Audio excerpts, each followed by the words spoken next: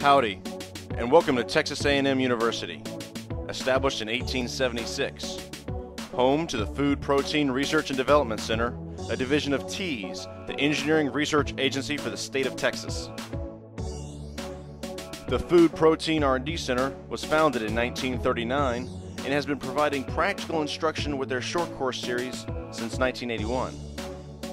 Their unique approach to educating participants involves hands-on practical instruction with equipment after detailed lectures regarding those technologies.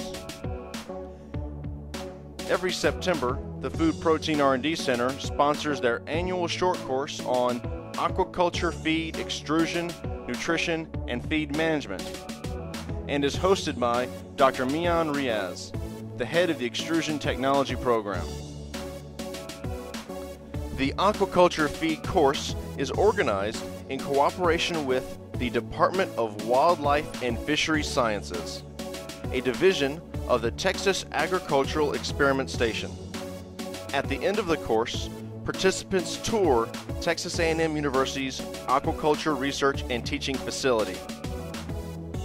Here you can see that this course is interactive and very hands-on. Industry experts from all over are involved with the aquaculture feed lectures and demonstrations. The equipment demonstrations are provided at both the main campus of Texas A&M University and the Riverside campus a few miles away. Here you can see the outlet of a surface coater, which is just one of the activities at Riverside campus. Each day of the course starts with lectures and then moves to the pilot plant for the live equipment demonstrations, which incorporate a variety of extruders and other feed processing equipment. Some demonstrations have multiple stages, so the participants are able to see the series of processes to make a product, from the beginning to the end.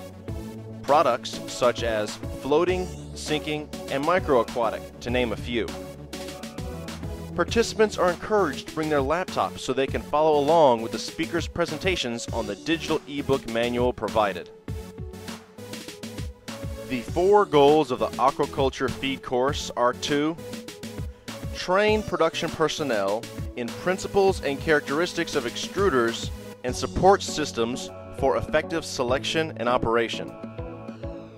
Review current practices and process equipment for preparation of aquaculture feeds.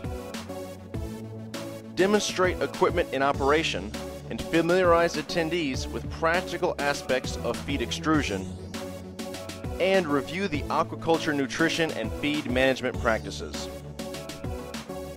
Here you can see high-fat yellowtail feed being cut at the outlet of a twin screw extruder. The annual week-long aquaculture feed course will be held in September. Short course participants receive lunches across the campus, tours of the Kyle Field football stadium, visits to the Corps of Cadets Museum, and a certificate of attendance. The Extrusion Technology Program hosts multiple short courses throughout the year. You can visit their website, foodprotein.tamu.edu slash extrusion, or you can contact them directly for more information.